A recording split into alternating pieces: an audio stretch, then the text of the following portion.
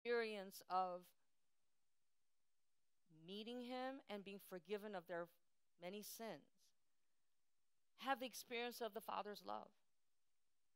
So, whatever happens, they will not forsake or doubt the Father's love. But if you don't know, first of all, that you are a sinner, and the result of your sin, the sin that you inherit in your spirit from Adam, and the sin that you committed with your own body, with your thoughts, and with your words, with your heart, that you deserve to go to hell. That it's not like after you, after you, you guys are worse than me. I'm the, I'm the last one in line. No, it's more like I'm the first in line. If that's your confession, then you realize amazing His grace is to save the wretch like me. That by believing, by receiving His blood, that my sins have been wiped away, cleansed, washed away, washed away. Like that song goes, washed away, and not a trace is left. Not a trace is left. Though I'm guilty and guilty and guilty, one, two, one thousand percent. But by his precious blood, a drop of blood, cleanse all my sins. There's not even a trace. You need to have that experience of forgiveness to fully experience the Father's love for you. Even though the Son, as he returns home, may not recognizing the Father,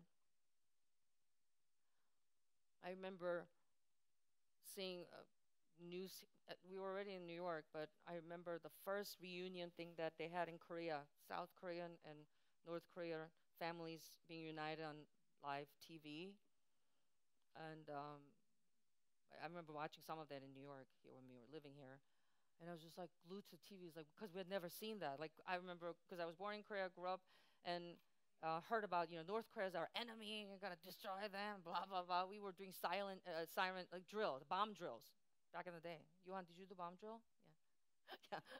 You're old. Yeah. You're my generation. Yeah. Um, I remember when we were little in elementary school, the siren would go off and then we'll do drill.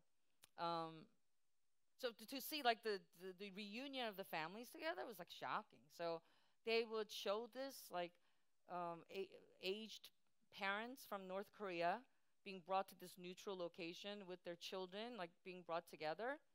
And the, the, the cameras are all ready and people are standing there and they're coming together the children who are like now like i don't know in their 30s or something like or 40s they can't really recognize their parents because it's been a long time. But the aging parents in their 60s 70s or even 80s they find their kids.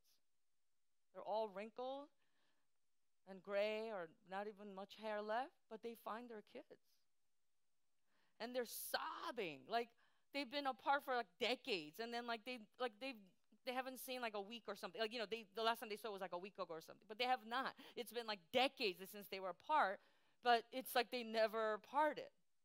That there's that, that's why it's called blood being thicker than water. And the father's heart is like, that's my child. And I remember everyone crying watching that because it was so moving. And they're just sobbing and wailing and hugging and just crying because like they never thought that North and Korea could ever meet again. I mean, eh, there are still definitely many, many families that are still divided and perish even during this time, but these few chosen ones were able to do that. So the, the moment the prodigal son returns home, the father who's been waiting recognizes his son, even though the son does not look like what he looked like when he was living under the father's roof.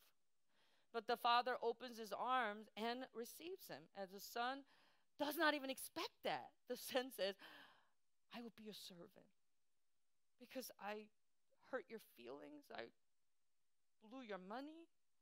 I brought pains to you, and I'm a disappointment to you. Let me just work for you so I could eat. But the father wants nothing more than to have his son back in his arms. So it's really hard for us children to fully understand the father's heart especially for those of you perhaps in this room, and I know some people out, not here, but who grew up not knowing who their dad is. I remember someone saying, like, they saw their dad once. and it was not even like coming to them. Like this man was just in the background, and then he was shown that's your dad, but the dad never even said hello to the son. So this concept of father can be very far for someone like that, and not even like comfortable to say the word father, because they've actually never used that word. But then there are those who use the word daddy, daddy all the time. So we come from different backgrounds and different um, life experience and hurts and relationships. But what we all have to make, establish, is this relationship with our Heavenly Father, our Father in heaven, as His child, as a soul who receives His blood that is spirit, that is eternal. And that totally changes my life, my heart, I was once a child of the devil, of the world, but now I'm a child of God. And that I have this right to ask and expect to receive because He is my Father. He is our Father in heaven. And this can be a sweet sound to those who are in desperate situation. People who are like spoiled and living a comfortable life and everything going well their way, they don't pay attention to the Father. They don't pay attention to the Father's love, Father's house. But when everything runs out and there's no one to care for them and no one to come through, no help can, can help them, and then they hear that the Father is waiting for you, you have a home. He's your Father. And that's the one that we cry out to Father. Do you know Pastor Kang? preached on Lord's Prayer many, many times, and this is the message that changed my life. It's, um, you know, Pastor Kang was not always pastor, but she became a pastor unintended, unintendedly, unintended, with, uh, without plan. She had no intention of becoming a pastor, but when she founded COJ 36, 7 years ago, and before that, she was already like full time minister. Just didn't have the, she was not ordained yet, or she didn't have the title. But my life changed. My sister and my life, my father, our family changed because of her, and because she is just literally living by like literal interpretation of the Bible. So lay down your family, your husband, your wife, or your children, whatever. She did literally that. So she was not available as we were going through uh, puberty, you know. So she was not even uh, around for first three years when we first came to New York, and uh, it was just so hard. But then I was God fearing always. That's one thing that I had that carried me to this day. Even as a child, I was God fearing. So I did not want to say anything that God may get upset at me about. So if I complain about mom not being around and always for Jesus, Jesus in church, maybe God would punish me. Like I had that part of me. So I would say, I hope it's going well with God's business over there, Ma. I would write a letter. And it was very difficult. So when I was in, uh, in in teenage years, and I did not like go out more outwardly, like my sister who was more rebellious because she's the younger. You know, I'm the older. But deep inside, I was very angry too. I was resentful and I was just looking for my own chance to get out because I realized like this is like not what I want. Like why all the people expect expectation. Church was so hard back in the day. We didn't have our own building. We were persecuted all the time. Pastor Kang was persecuted because she's a woman, woman pastor preaching about Holy Spirit, baptism, being a Baptist, being Holy Spirit, and driving out demons. She was not even driving out demons all the time, but all those things they were all saying, all the communities around and whatever, they were persecuting our church a lot, and there's a lot of trouble in the early stage of church. It was very difficult, and I just don't want to be part of it. So I remember like planning out my college time. It was like I'm leaving, like I'm done. I'm done with the Sunday school. I'm done playing the piano. I'm done because like it's a legitimate time to leave. I'm going away far away. So I wanted to go to like upstate, one of the SUNYs, like really far away. But then I need a signature. Back in the day, there's no electronic stuff that you guys do now, where you send in a portal. you literally had to get Mama's John Hancock. Like you need her signature or Papa's. So I gave it to her, and she was just you know how she is, like my way or highway. Yeah, the same way. You, you, you, you see what you, you get what you get. You get what you see. You get what you get. So whatever you see from the pulpit, well, is what you get at home. So she was literally that. She was saying like, I am not going to sign anything if you go away from far away from church and you don't come back every weekend. Uh, no, no, before that, I don't have a dime to pay for your tuition. I think I should have been like smart and be like, okay, so you don't have a dime, so like, what right do you have to tell me what to do? But, but I was again still like so she was saying, I don't have a dime to give you, but I tell you that if you don't um, come back every weekend, I'm gonna cut. You, I'm gonna cut you off, literally. I cut you from what? You have money that you may cut off? Like nothing. Like I was basically we were on our own. I mean, we had roof over our heads, but we had to get our jobs. We were working all the time to support ourselves, for our personal stuff. We had to do all that. So she's saying all this, and um, what she said was really shocking that night was that you cannot expect to do everything your way and expect God to to let you be. Like as in how do you expect God to be on your side if you do you go on your way? You do your way. And that scared me that night. Like I realized and I couldn't sleep all night. I was so mad, so angry. And then I realized if I, I I've been plotting this, like this was my secret plan, like escape route, and what, what if God is not happy? And I think that's the blessing God gave me. That there's a part of me that always feared God, even as a child. And a few days later, we went to Friday prayer service, and she was doing the Lord's Prayer, a series. This is a long time ago, guys, and she was preaching this message. And I don't remember anything when I was preparing for this. Like I don't remember any of this, but she made us realize that the one in heaven is our Father and that you cry out to him in times of need because he shed his, play, his blood for you and you have heaven as your home waiting for you. So from earth, from the time between earth and heaven, you're going to have needs. You're going to be in desperate situation. You're going to be lonely. You're going to go through hardship. You're going to face battles. And the only way you can do that is by calling Father. And I remember, like, for the first time, I didn't care because usually I was like, I don't want her to be happy by me crying. Like, if I cry, she's gonna be happy. I don't want that. So, like, passive aggressive. It's like, mm, you know.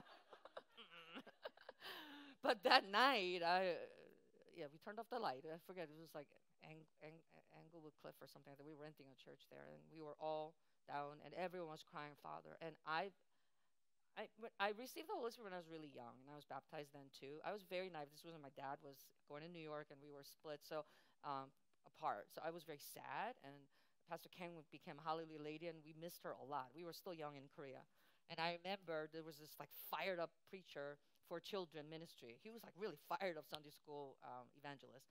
So we learned a lot from him. He was like, call out Father 5,000, 500,000 or 500 times or something like that. So I already experienced like a, like a juvenile level of that. But here is like, as a now becoming a young adult, um, for the first time, I cried out, Father. And I couldn't stop crying. Like my heart just broke. And I just felt like I had this weight like I did not realize I had. And this anger and this sadness and resentment and and fear and anxiety. All of that was just like being lifted up as being unload unloaded and lifted up. So after the prayer meeting was done my face was like so swollen. My eyes were so swollen and bloodshot. Like i i don't remember uh, I was crying that much. But still i did not want pastor Kang to see. So i was just like but she um, already knew. But it was the beginning where uh, my heart started to change. So when I think about Father, it's like I, even now, it's in times where I need to pray for a situation or just very frustrated or just don't have any, I, couldn't, I can't even come up with words to say. Now I can say Yeshua because it's actually the name of the Father. So even if I don't get to say Father, when I'm saying Yeshua, I know that He's my Father. But we all ought to have that experience of crying out, Father, and being broken to 10,000 pieces. because I miss him. I miss him. I don't know where that comes from. And my physical father father's now passed many years already. It's not that. It's not like I'm, I, my dad died, so I miss. Fa- no, it's not like that. Even when he was alive, this was true. So it's got nothing to do with your earthly relationship. But if you're truly born again and you have the experience of confessing that you are a sinner deserving the fire of hell because of your many, many, many sins that God saw, as I said earlier on today. He was there when you did those disgusting things, the detestable, embarrassing things that you would never even want to think about. He was there. He saw everything. He saw even before you carried into action when the evil thoughts sat in your mind, in your heart, all those things. He was there. Yet it is He who shed His precious blood for you to give birth to you as his child. So how can you not be moved? If we were to project on the, on, on the PowerPoint here of all the things that you've done, no, no, not, not all the things. It's just like about yesterday or today. All the things that you have thought of projected. You would not have even one friend in this room left. Nobody would want to be a friend. But there is our Heavenly Father who decided to be our Father and shed his precious blood for you, for me. And he waited patiently for us to one by one come home to him. Prodigals returning home. There's still some of you who are being prodigals. You say you were saved and you were forgiven, but you still have a rebellious, prodigal heart. It's time for you to come home It's time for you to come home. Even if you heard this many, many times, but you never shed a tear. Or maybe you did shed a tear, but it's just like, that's not tear. Mourning is like, as Pastor Kang said, it's like somewhere, like inside your head.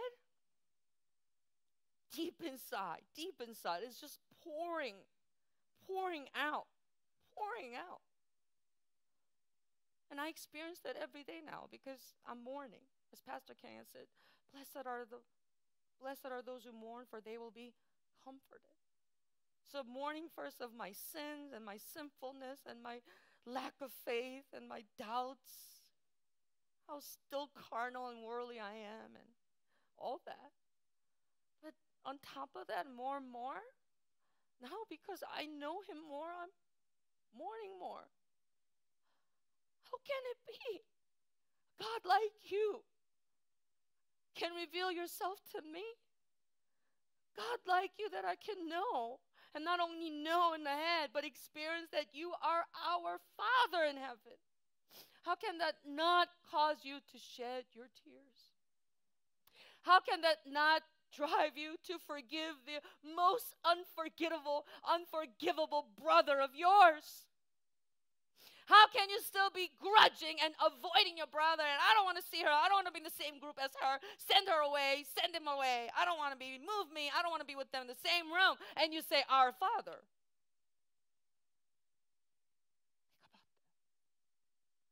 I had said earlier, think about God. Think about the Father. Think about the Father's heart, the Father's eyes on you this image of Him holding the universe, and you're there. Your life is there like a dot, like a speck of dust. Here, but gone in a second. But in this split second of time, this fleeting moment with respect to the history of the universe, I heard about God. I heard about the Creator coming as man to be broken and spilled out to give birth to me, a soul that deserved to go to hell. So while I'm on earth until I go home in heaven, I can cry out, Father. Let's close our eyes and say together, Father. A little bit more meaningfully. How about Father? Father. Once again, Father. I want you to get used to that. Even if you never used the word father or daddy in your life, He's your eternal Father in heaven. Let's pray.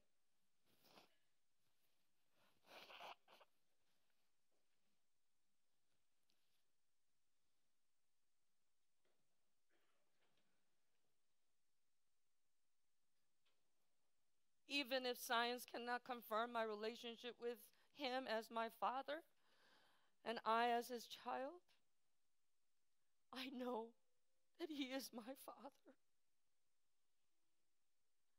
I can never forget the experience of being born again as child and returning to him.